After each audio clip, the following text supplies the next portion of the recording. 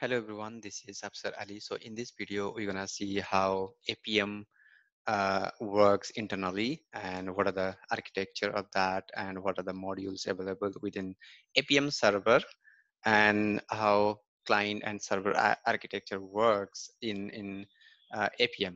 Okay, so let's get started. So if you see here, I do have a uh, Android emulator, all right? And I already open Appium desktop. I install uh, in, in my system Appium desktop.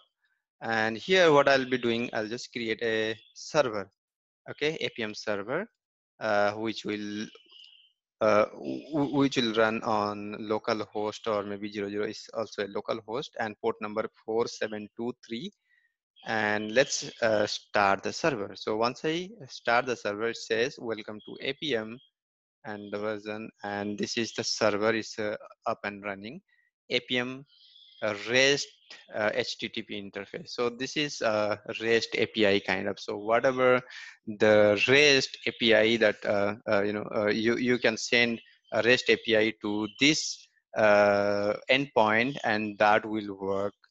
All right so yeah so using postman also you can send your request to this particular uh, you can say this particular uh, uh, uh, address, the endpoint, all right?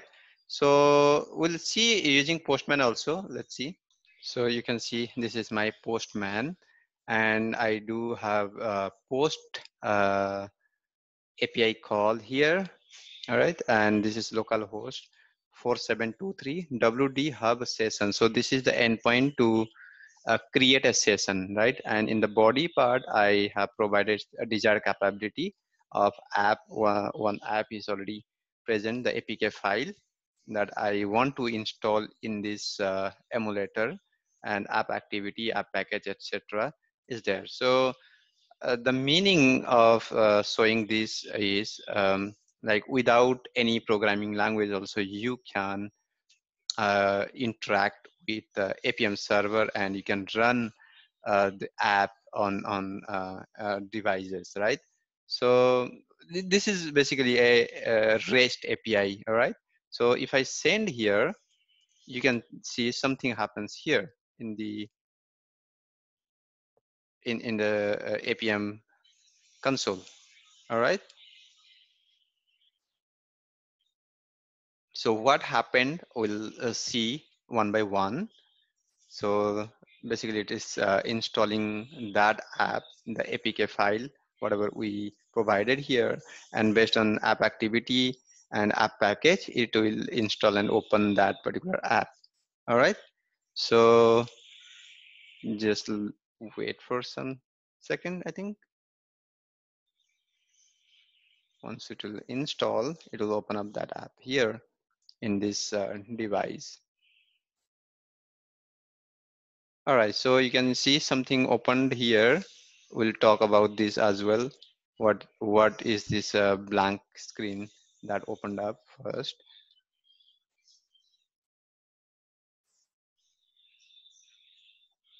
All right, and then it will open the app.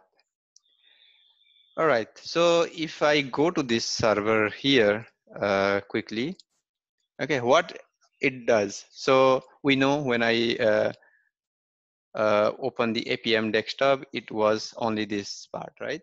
Listen, uh, sorry, the listener was started on this particular 4723 uh, port number. And then after that, we had uh, this session request, post session request with a desired capability from Postman. All right, maybe from any programming language, you can do any you can use your Java or uh, C Sharp or Python bindings uh, in your Eclipse ID or maybe IntelliJ ID. And this is the same thing will happen with the Appium server. So this is a standalone server, right? Maybe this server will uh, will be in in your local machine. Suppose you are running on your local machine uh, that uh, you you have you know all the devices you uh, connected with your local machine and you are trying to run everything locally and you have your own uh, device farm or something. Or if you have a cloud based like browser stack or sauce lab so they also have in in in the aws or their cloud uh, uh, platform they they do have this appium server run up and running. So instead of using this uh, localhost 4723 you will be using their url uh, to send these commands this create session command you will be sending to their uh, you can say uh, their, uh, their URLs. All right. So what happened here, you can see first we sent this session request, then it converted everything into JSON wire protocol. All right. So this is the one we'll see in detail. Uh, it first converted everything into JSON wire protocol so that the base driver can understand those and can forward it to the uh, other drivers all right?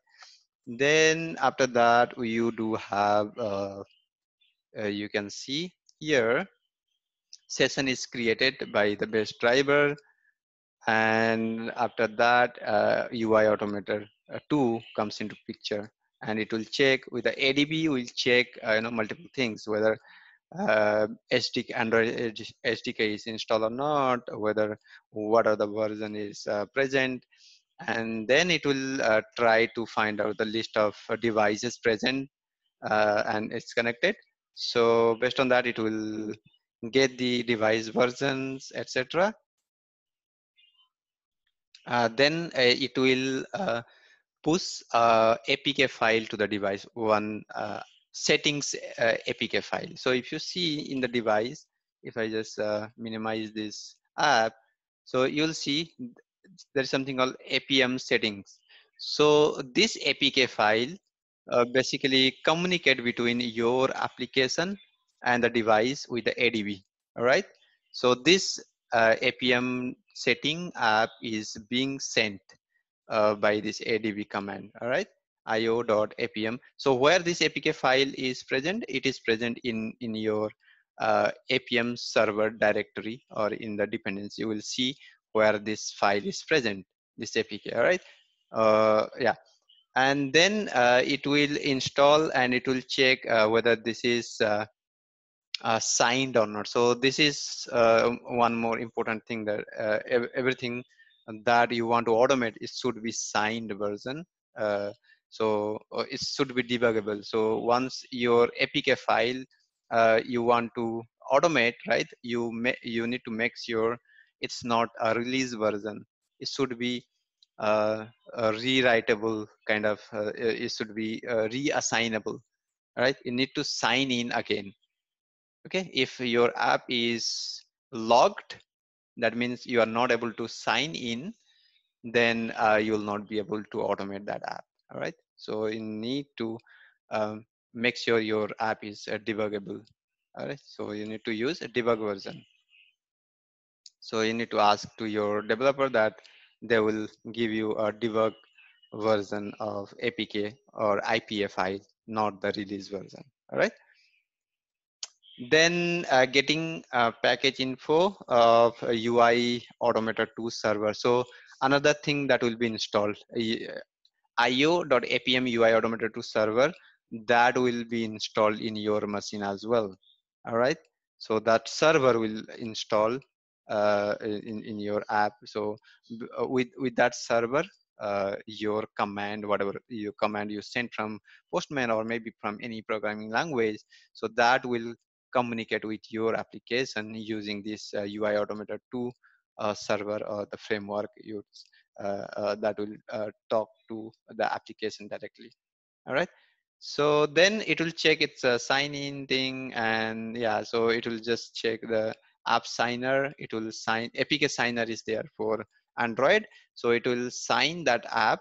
All right and it will uh, yeah so you can see it will generate some certificates uh, etc once it's uh, being signed then after that, it will install this uh, io.appium.ui automator 2 server dot test. So this is another APK file that is present in here. You can see uh, in this directory uh, that APK file is present. So that will be installed. All right. And signed and then installed. Uh, then after that, it will install your uh, APK file. All right. So your APK file also need to be signed, then installed. Okay, so once that is being done, uh, the, then another thing the UI Automator 2 will do instrumentation target of this uh, is available or not. So this is uh, another package that is available or not. Uh, this is a package within UI Automator 2 server. So it will check whether it's available or not, and then it will do port forwarding.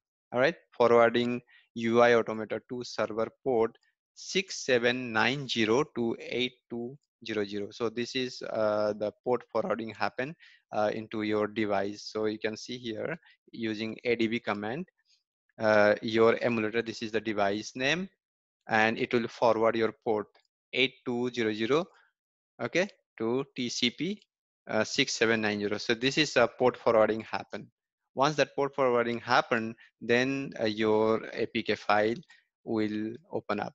Your uh, your device, uh, sorry, your app will inst uh, install and open up. So this is your app. It will open up after that. All right. So yeah, so this is how it works based on the yeah it will check uh, your app then it will check your uh, app activity and app package. Uh, based on that using adb command it will open up your app etc all right so let's uh, see uh, how things works in and what are the different components available to run those. So you if you want to check where your appium is installed so you need to type this which Appium. So it will give you uh, the directory where your Appium is being installed. So make sure your Appium is being installed in your machine using um, uh, npm install or something. It uh, should be available globally. All right. So just check this uh, directory, then navigate to this particular directory. All right. So once you navigate to that directory, uh, you will see uh, there are a couple of folders available like bin library node modules etc all right so this bin uh, uh, this uh, library so these are the important things that will run your appium server. So if you see this welcome to appium etc so these are coming from here. This particular Appium directory and this is a, a, Appium server, right? So that works. And within the node module, you will see uh, there are a lot of dependency available. So basically Appium, it uses a different, different uh, third-party frameworks uh, inside the Appium, like UI Automator 2, XQI test, uh, then, uh, you know, Flutter uh, drivers, etc. So those are the third party drivers. So if you see here, ADB, ADB is from Android, right? Similarly, IDB is for iOS, Flutter driver, Fake driver, Espresso driver, Chrome driver. Okay, so base Appium based driver, Android driver. So these are the drivers, uh, the, the third party driver it uh, it uses here, all right? And the UI Automator 2, uh, uh, driver and UI Automator 2 server. So these are the third-party servers or third-party APK file or the dependency or the library that is being used in Appium to you know perform automation on on the application. All right. So let's see. Uh, you can see here the we, we do have a different different uh, drivers like uh, you can see Appium Mac driver, Appium iOS uh, simulator, Appium iOS driver, etc. Right? Flutter driver, Fake driver, Espresso driver. We have a Chrome driver, Base driver, and Android driver, etc. All right. And also we do have Windows driver and Appium web driver agent. So this is also important thing in iOS, how the interaction happens. So we'll see those things later on and we, we do have uh, most important thing for iOS um, automation is uh, XCUITest driver. and this is UI engine driver also is there. All right. So let's uh, see uh, in, in detail of, of, each, each of the package, each of the module, how it works.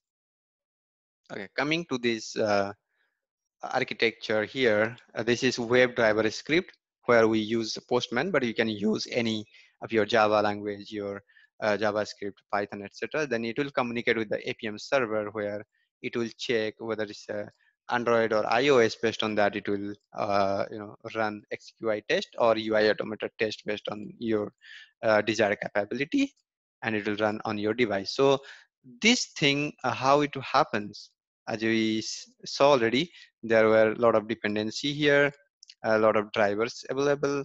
So how exactly things works? So let's just check that. So as we saw, this is the iOS package Selenium package. This is core package. So in the core Appium, Appium Express, Appium Base driver is there, Appium Doctor. Appium Doctor is uh, something as a different tool that will check your system requirement, uh, whether you have all the uh, dependencies, all the uh, libraries, all the tools available or not for running your Appium tests, all right? So we, we do have utility package for Android. So in this particular video, we'll be just uh, seeing more into Android packages and end-to-end -end flow, how it works. So Android package has Appium Android driver, Appium ADB, Appium Android Bootstrap, Appium UI Automator, UI Automator 2, uh, Selendroid. Uh, okay, so these are the uh, things. So let's uh, see uh, each of them. Appium module. So what is Appium module? Uh, when we run your uh, app, uh, sorry, Appium server, all right. So this, this, this is the one. So when we run the Appium server, right? So this will take care, the Appium module will take care of that. And what else it will do, it will check whether node version is uh, greater than 5 or CLI argument check. It will check all the CLI content. Uh, you can see no non-default server arguments. So this will check these uh, other things first. All right. And check for deprecation and mutual exclusions. Put uh, logging together. So these logs are, uh, it will also put together. Initiate Appium driver and it will initiate Appium driver first all right. So then that appium driver uh, extend base driver actually. So that appium driver will extend base driver and the base driver will decide and assign the ios android or freq driver to the session. All right.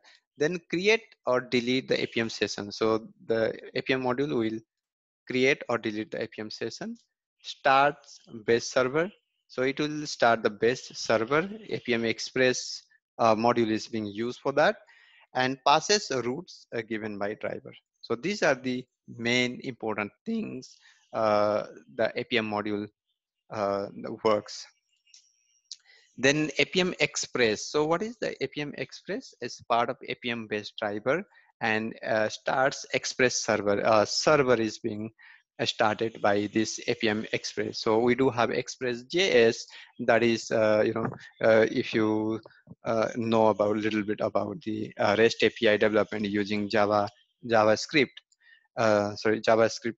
And in that you'll see a library called Express JS. So Express JS will, uh, using the Express JS, you can create REST APIs, get, post, you know, requests API requests you can create. So this is the same uh, uh, Express server that is being used. Uh, you can say Express.js is being used uh, to create HTTP uh, server. This is the this is the one. All right. And initializes routes from Appium driver and timeout handling being handled by the Appium Express and connects a request or response event to loggers. So these loggers, uh, we, we get all the loggers and it will connect the request and response and so in here in the logs, all right? And the mobile JSON wire protocol. So if you see here, here we'll see the mobile JSON wire protocol in the Appium server, right? So when it uh, send the Appium uh, HTTP request first, when we sent the request from Postman, okay, it was HTTP request because we only sent a HTTP request there. And after that, that HTTP request is being converted into uh, JSON wire protocol, mobile JSON wire protocol. Uh, it's a a different uh, protocol is being used to communicate between you know UI Automator 2 or maybe uh, with the XCUITest for Android or iOS. All right, so it converts uh, that HTTP to uh, mobile JSON wire protocol. All right, then uh, it it provide list of Appium commands as well and subclass by drivers that will use the protocol kind of middleware between the client and driver. So yeah, as I said, it's a uh, middleware between the client and the driver. Handle JSON wire protocol proxy for driver contains error classes for all type of errors, sanitizes error responses, uh, unwraps params to commands, check the required params, and validate parameters, etc. So you can also check uh, in in here uh, if you want to know more about here you can just check uh, the JSON wire protocol. All right, uh, here you should see uh, should see in the base Appium based driver, then go to that. Within that, you will see JSON wire protocol proxy and JSON wire protocol status. So yeah, you can just check that how it works, how it converts everything into uh, JSON wire protocol based uh, objects. All right, and this is the converter. So yeah, you can explore more about this uh, if you go into this Appium based driver and you can also uh, check more about the base driver commands, etc. All right, so I'm not gonna deep dive into this uh, in this particular video. So this is uh, just overview. Uh, you can go ahead and check uh, those information about the JSON wire protocol. All right, so yeah, so it checks the required parameter and validate the parameters, etc. All right. And then Appium based driver, you saw the Appium based driver just now we saw in here. What it does, uh, designed to have a single testing session per instantiation contains uh, constraints on caps. Platform name has to be present for it because it will decide which uh, driver it, uh, it, it, it will instantiate, whether iOS, Android. All right, so platform name has to be present. Validates the capabilities, whatever the desired capability that you send uh, in, in your post request, it will check those and validate those as well. And runs the chain of promise promised commands with a single concurrency, handle session, restart, handle swipe options. All right, the swipe uh, options it will also uh, handle. Export class uh, device setting to manage the device settings, get update, etc. Contain the basic commands to find elements, create or delete session, handle timeouts, set or update device settings, provide helper method for commands, etc. It will take care of these are the things like finding element, create or delete sessions, okay, handle timeout. So you can see within this uh, base driver, all the commands available here. Okay, execute command, find images commands, all right. Uh, these are the find commands, sessions, settings commands, all right. So these are the uh, commands and the timeouts, all right. So these are the uh, commands available for from the base driver, all right here create delete sessions etc so those are available from base driver. Okay so this is the flow diagram how it works. Like appium json wire protocol uh, from uh, uh, you know uh, from http request it will convert everything into json wire protocol in the base driver. Then after that base driver it will uh, check which uh, driver in need to instantiate whether it's a ui automator whether it's a XCUITest or Mac driver, etc. So based on that, it will uh, check if it is UI Automator. If it is Android, it will go uh, with uh, UI Automator 2 driver, ADB, then Android driver, and then pushes uh, settings APK to device as we already saw. The, there will be one uh, APK file, uh, this settings APK APK uh, here as we saw already. So this will be installed here and it will sign in. All right. Then uh, it, it will install the UI Automator 2 server and then sign the certificate for uh, UI Automator 2 APK. So UI Automator 2 APK also present within here. If you check, okay, this base, base driver will decide which driver in to select. So suppose if you have given Android, then it will go ahead and check for a UI automator 2 here. All right, and, and it will run the server first, UI automator 2 server, and it will install two APK files. So these are the two APK file present uh, within this uh, folder, and it will be installed in, in your uh, device uh, your Android devices, right? So after that is being installed, your uh, the server will be Uh, up and running. Then uh, it will instantiate of the UI Automator 2 driver and a lot of commands available from UI Automator 2. A general command, screenshot, touch, viewport, find, element, uh, battery, alert, action. So these are the commands and a lot of uh, sub commands available within that you can check as well right so this thing will work in in uh, after this uh, instantiation of UI Automator 2 APK and uh, running on the server. Then run UI Automator server on the device using default available port. APK signer, it will sign uh, this Appium UI Automator 2 server debug android test.apk then it will check instrumentation target of this particular uh, UI Automator server all right and then it will uh, port forward it will happen port forward you, you can check in here as well port forward how it happened okay it will check a lot of things here then if you go to the port forwarding okay the settings uh, i io.appium.settings so this is one apk as I said, it will install first. Then it will check for uh, the sign, uh, yeah, uh, the certification or this sign in. APK signer, uh, it will sign the app. All right. Then after that, uh, it will port forward here. You can see UI Automator 2 server port uh, 6790 to 8200 it will forward the port all right so here using adb command it is being forwarded like this adb minus p 5037 minus s emulator uh, uh, the device name then forward tcp from 8200 to tcp 6790 so once the ui automator 2 server port is being forwarded to the device uh, port available device port right?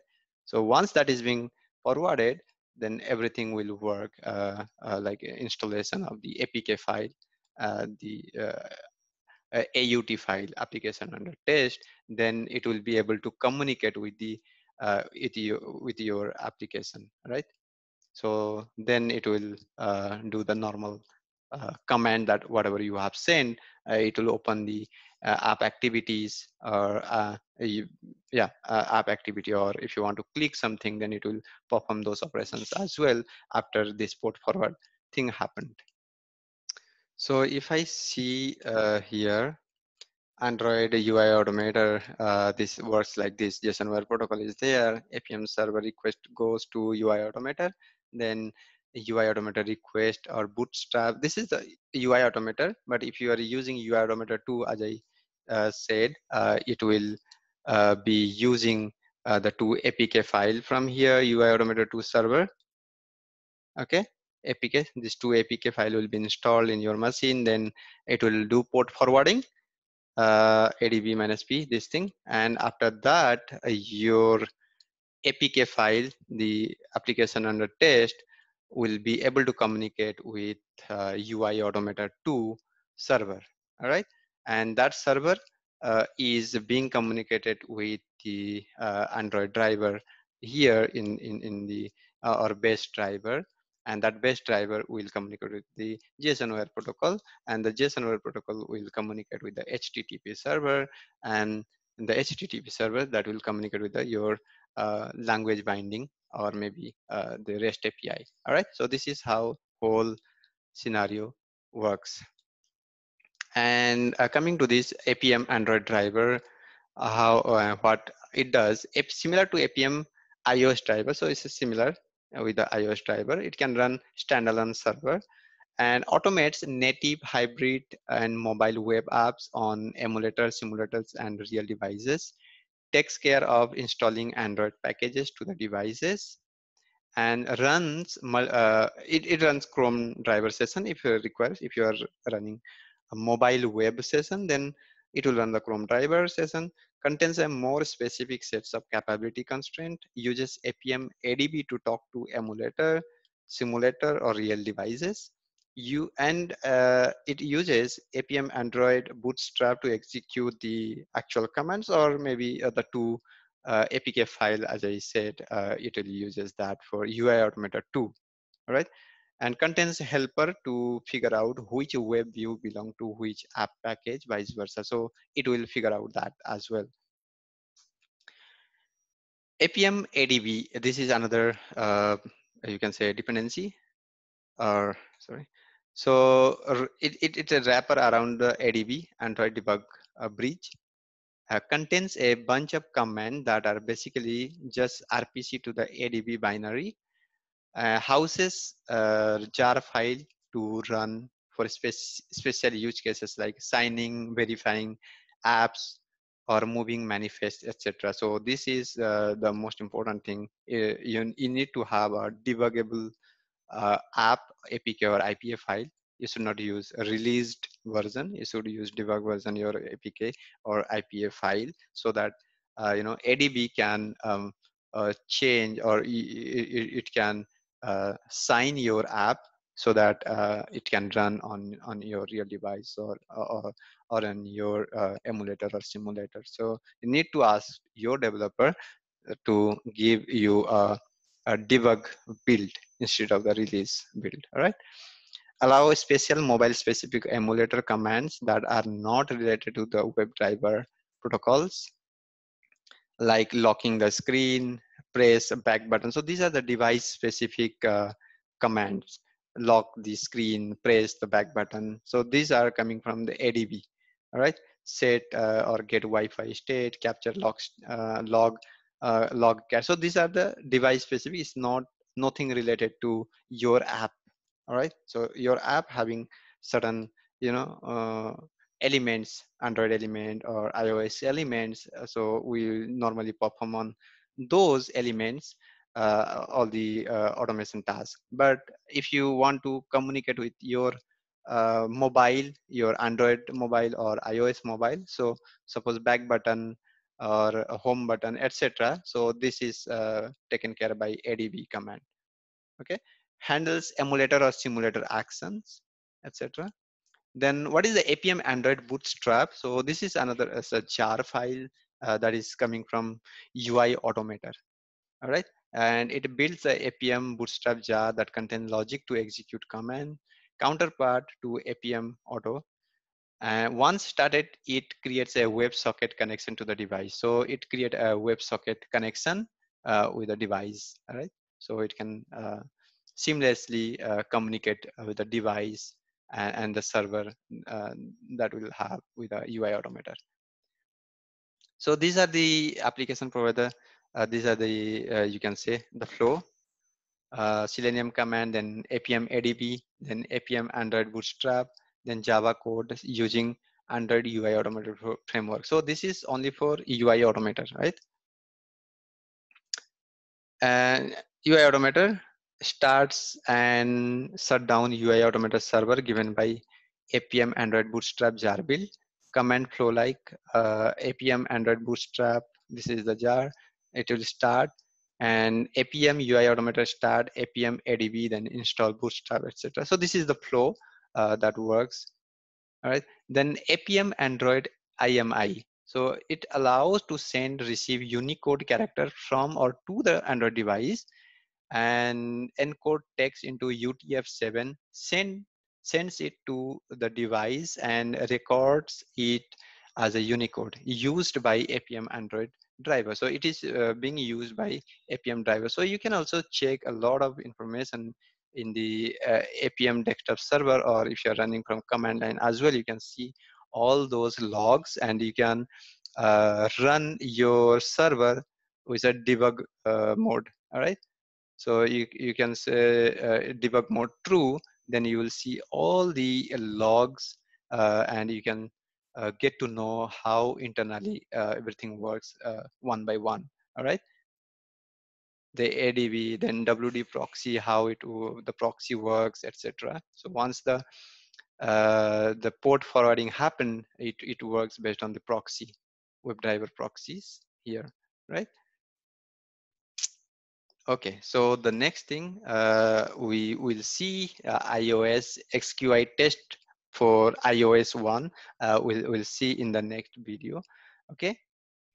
If you have any questions uh, or any doubts, you can also comment in the comment section below and uh, please like and subscribe and share this video, all right? So see you in the next uh, video and bye for now.